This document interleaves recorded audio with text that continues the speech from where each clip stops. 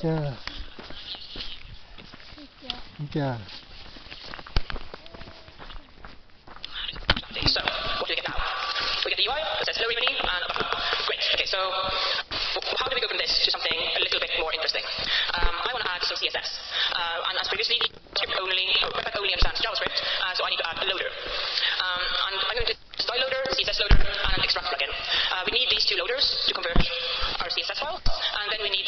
plugin to be able to extract our uh, bundled CSS from our generic JavaScript bundle into something that can actually attach directly to our index.html file, so we can render our JavaScript and our CSS separately. If you don't extract it, uh, attach it separately, um, you're basically going to have your UI probably rendered after the JavaScript has been rendered, which is going to have very weird side effects.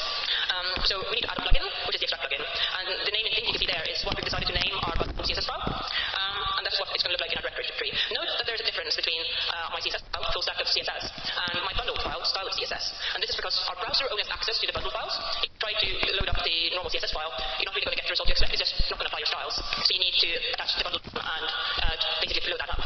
Um, so how we do that is adding a fullstack.css to our folder. Um, I'm adding a few styles to it, just something to make it look a bit nicer. Um, and then I need to require my fullstack.css file in my React code. If you don't load it into your React code, it's not going to be picked up when Webpack is bundling, and it's going to think you have misstyles and as a result, it's not actually going to get compiled. Um, and then we need to add the style sheet, which is the bundle style sheet, to our index.html page. And what we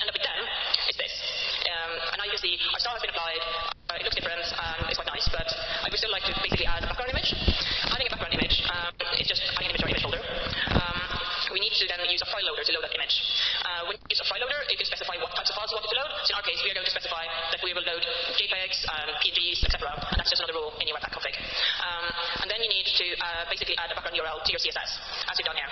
But the caveat here is just adding this to your CSS is not going to actually make your image show up. You need to also load your image in your React code to be able to have that image show up. And this is something that a lot of people seem to be quite confused about, um, just judging by Google.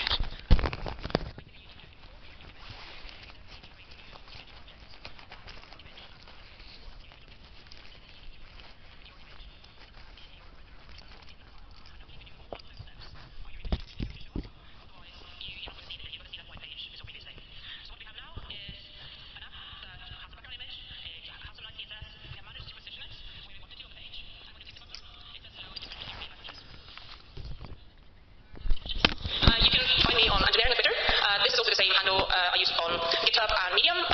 And there's blog posts about how you can do this step by step. And all the code is also on GitHub. So you can either follow blog posts and do this step by step, or you can go to GitHub and just get all the code immediately. Uh, slides are also been uploaded on the EuroPython website, of course. Thank you.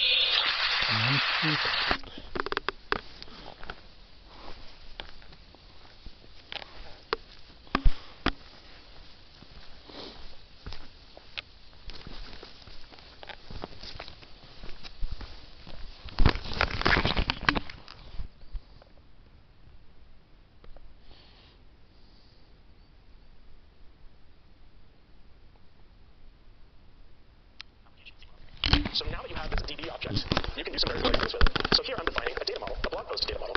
And you can see that it looks familiar to the same sort of thing that you would do with the Django ORM. In fact, I'll take the previous example and I'll put it on the same slide so you can compare and contrast. They're not identical, but they're very similar to each other. And if you've used the Django ORM, you can use SQLAlchemy in almost the same way. You can also manipulate data in very similar fashions. So you can create an instance of the blog post, uh, an instance of the blog post class, assign information to it, and then instead of calling .save on it, you have to add it to the database session and commit to the session. It's the same basic concept. SQLAlchemy is just making you sort of be a little bit more explicit with how this database interaction works. And you can query data in the same way. So you do .query instead of .objects, and you can do dot .filter or dot .filter by, and there's a lot of the same basic things that you can do in Django, and you can do the same sort of thing in SQLAlchemy. In fact, I'm of the opinion that SQLAlchemy is a more powerful object relational mapper than Django ORM, but that's another topic for another time. So, so by comparison, so to talk about data models here on a higher level, Django's data models are easier to get started because they're built in. So you don't need to import and install anything else to get started. However, Flask allows you more flexibility to choose whatever you use. Django assumes that you're going to use a relational database. Flask, you can use whatever you want. You can use Mongo, you can use Google App Engine's data store, you can use whatever, it doesn't matter. But of course, the more options you have, the more flexibility you have, the more chance you have to screw something up. So, you know, it's a trade-off there. Let's keep going. Most web applications have users, and they also have an admin to be able to view information in your database and modify it. So how do these compare? Can you do this sort of thing with Flask? Well, with Django, we have your familiar django.contrib.auth. It's built in, it's easy, I'm sure you're all rather familiar with it. If you need extra model, if you need extra information for users, you can swap out the user model, it's a little complicated. You can also make a user profile to attach to it, that's also a little complicated, but it works pretty well. With the admin, you have django.contrib.admin, also built in easy, very customizable, and there's a lot of documentation out there with a fine-grained permission system so that different admin users can get access to different objects to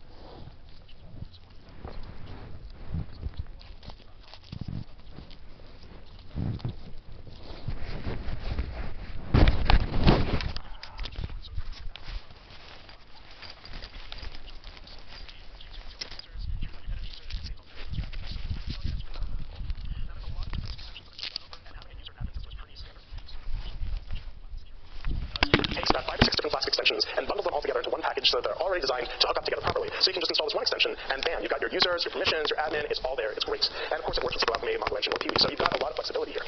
So again, Django has a user, a user framework and admin built in, and they work very well. Uh, they're not maybe they're not as flexible as personally I would like, but for a lot of people they work great. Flask requires a lot of different extensions working together in concert, which makes for a steeper learning curve, but it means that you can define your user model and your permissioning system to work exactly the way that you want. So it's basically a question of do you want off the shelf or do you want extensive customization? There's also the idea of reusable apps. So Django has got this nailed with the whole Django apps system, time you create your project. Uh, all code related to one concept lives in one place, like for example you might have all the registration logic in one place. How does that compare? So with Django, you install your thing and you get it set up in the installed apps list in the settings. Uh, you have the Django packages website available, which is fantastic and shows you a lot of good information about packages available, but it's a little hard to figure out which packages you actually want, which ones are maintained, which ones are high quality, and so on. And of course, if you're writing your own application, it's very tempting to just stick everything into one app rather than organizing it into several. It's sort of complicated to figure out how you want to move all those pieces around. By contrast, Flask has something called blueprints, which are not quite the same thing, but they're pretty similar. It's a way of organizing the views in your application so that you can again group logic together into similar places. But it doesn't require that you move models into different places. It doesn't require anything about like in different places. It's basically just views. So it's, it's much smaller and much more lightweight, which might be a good thing or a bad thing depending on how, on how you look at it. It's also very familiar syntax. So let me go back to our basic hello world that we had before, and I will take this application and I'll transform it into a blueprint, just like this. You can see the only things I had to change was turn the app variable into a blueprint variable, and I can still do the same basic route decorator on top. And now, once I have this hello underscore BP blueprint, I can attach it to an existing application just by importing it from the file where I had it defined, and I can call app.register blueprint of the blueprint that I defined. So it makes it much easier to take an application that was originally defined as one monolithic application and separate it out into several different blueprints, although you might do the same sort of thing with Django apps. So to compare, Django apps are more comprehensive. There's a lot more of them out there, especially if you check the Django packages website, but they're also more complex, and sometimes it's hard to refactor your own application into Django apps. By contrast, Flask blueprints are simpler and they're easy to integrate with the project, but maybe they don't provide the power that you're looking for. Again, it's, it's sort of a subjective thing. Another thing that a lot of websites need is APIs. They're increasingly common for web, for web applications, and they have different user patterns compared to HTML web pages. So how do these two compare? Well, when you're dealing with Django, you want to use Django REST framework. It's great. I'm sure you've all heard tons and tons of praise from this framework over the past few days. It's multi-layered abstraction. It's multi-layered abstraction, so you can choose which layer you want to go with. It has tons of documentation, and it works great. So what about with Flask? Well, as you might imagine, you want to use multiple different extensions working together to provide the experience that you're looking for. Uh, with Django REST framework, typically the thing that sort of forms the core of how your API is structured is the serializer. And in Flask, you would probably want to use the Marshmallow module, which is, as you might imagine, a serializer framework. And the ecosystem has integrations with Flask, with SQLAlchemy, Mongo With a whole bunch of other things. So no matter what sort of structure you've decided for your web app, Flask, uh, Marshmallow will work properly with it. So let me give you an example. This is a